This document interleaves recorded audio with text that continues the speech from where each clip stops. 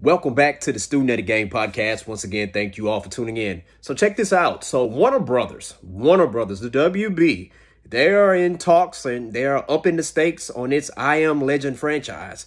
And they're looking to add not only not only they're going to bring Will Smith back, all right, they're going to bring Michael B. Jordan.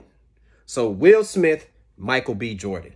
Like, wow, that's talk about star power. Like when you think about that, like let's take it sports related. You know, to me, like right now, that would be like a uh, let me see, that would be like Ja Morant, Ja Morant getting getting the, chance to play with Michael Jordan or something like that. You know what I'm saying?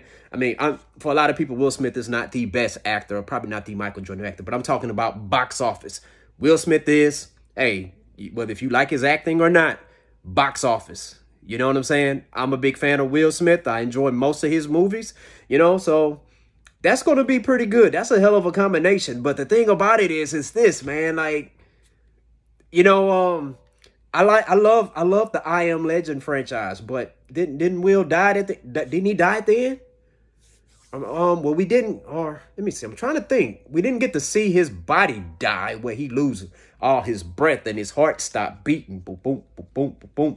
But, you know, um, I'm trying to think because there's a director's cut ending too that was different. And the director's cut, the director's cut, I don't think he died. But I guess what it is, um, I don't know. It's, who knows? Maybe something happened where they revitalize his life or something, where they revitalize him or something like that. They, res- they resurrect him.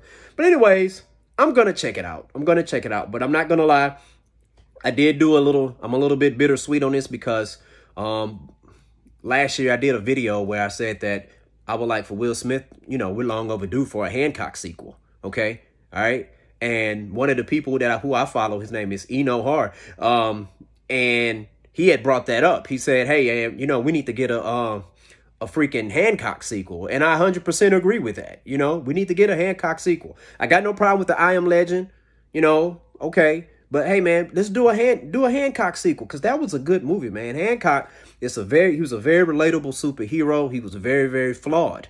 You know, he wasn't like your your cookie cutter, you know what I'm saying, like how Superman used to be. You know what I'm saying? He had the powers of like Superman, but what was amazing, his weakness was his love for the love of his life, you know, which was Charlize Theron's character. I forgot her name, but the thing about it is this, you know, um, whenever he is close around her, he loses his powers, you know, he becomes more vulnerable. So she's almost like his kryptonite, you know what I'm saying? So that I thought that was a good element to that story. And it's like, let me see, that movie came out in like 2008, 2009. So we're long overdue for a sequel on that. And I understand Will, he's trying to get the Oscar awards and stuff like that. But man, don't forget about the fans, Will. Don't forget about us, man. You know, we love your movies.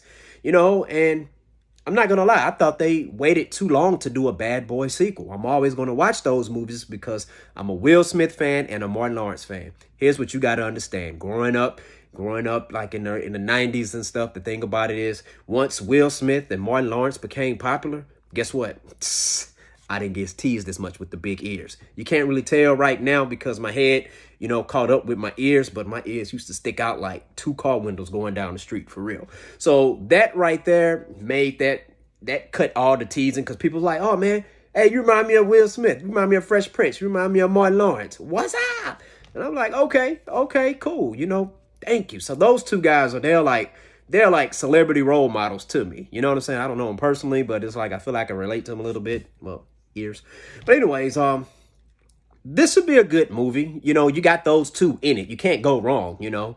Um, but I wonder how they're gonna do that. Like, is Michael B. Jordan gonna be a villain or is Will Smith gonna be a villain? Like, I can't really think of a movie where Will Smith was a villain, you know what I'm saying? But I don't know. I mean, I, well, Suicide Squad, he was a villain, but was he really? He didn't seem like a villain in Suicide Squad. He did not.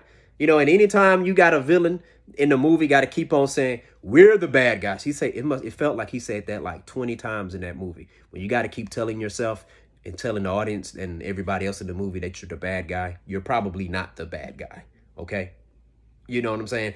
But anyways, um, I'm down for it. I'm down for it. Of course, I'm to watch it. you know, it's not like I'm to boycott this movie. You know what I'm saying? I'm to check it out. And hopefully it's great and phenomenal and it'll lead to other sequels to the I Am Legend franchise because it's a lot of you can you can do a whole lot of stuff with that. I mean, you can go you can do go the prequel route if you want to, you know? So I'm I'm looking forward to checking it out, but man, also we need to get a Hancock sequel too, Will. We need to get a Hancock sequel. I mean, you could do a Hancock sequel and you can add Michael B. Jordan in that too, you know?